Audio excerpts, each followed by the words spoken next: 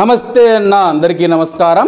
General administration of residency affairs investigations నేతృత్వంలోని ఉమ్మడి త్రైపాక్షిక commission మంగళవారం సాల్మియా ప్రాంతంలోని పలు మాల్స్లో ఆకస్మిక తనిఖీలు చేయడం జరిగింది.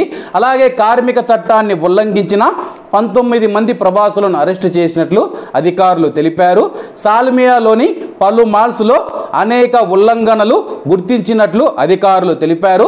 చాలా మంది సేల్స్మెన్స్ చట్టవిరుద్ధంగా పనిచేస్తూ ఉన్నారని చెప్పి అరెస్ట్ అయిన వారిలో చాలామంది కార్మికులు ఆర్టికల్ ట్వంటీ టూ ఫ్యామిలీ వీసాలు కలిగి ఉన్నారని చెప్పి అలాగే ఒక ఫ్యామిలీ వీసాలు కలిగి ఉన్నవారు కూడా పద్దెనిమిదేళ్ళలోపు పిల్లలు కూడా ఉన్నారని చెప్పి అధికారులు వెల్లడించారు.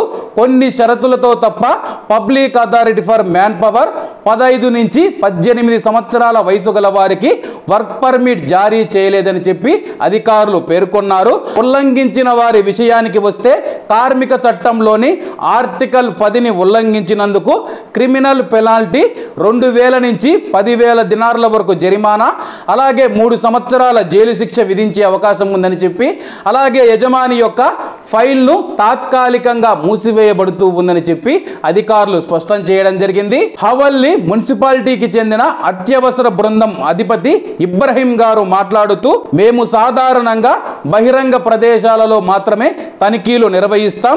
ఇటీవల మేము ఒక మాల్లేకి ప్రవేశించినప్పుడు చాలామంది కార్మికులు పారిపోయేందుకు ప్రయత్నం చేశారని చెప్పి అప్పుడు మాకు విషయం అర్థమై ఈ రోజు మేము సాల్మియాలోని పలు మాల్స్లో ఈ యొక్క తనిఖీలు నిర్వహించినట్లు ఆయన తెలపడం జరిగింది.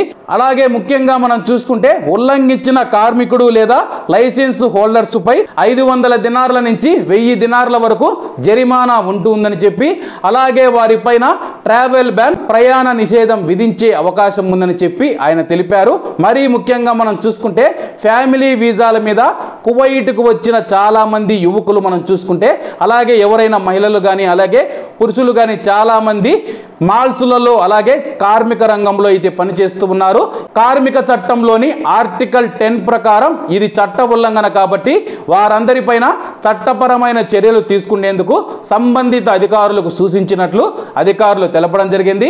కాబట్టి అందరూ జాగ్రత్తగా ఉండాలని కోరుకుంటూ అందరూ బాగుండాలి. ఎందులో మనం ఉండాలి? అందరికీ నమస్తే అన్న. జై హింద్.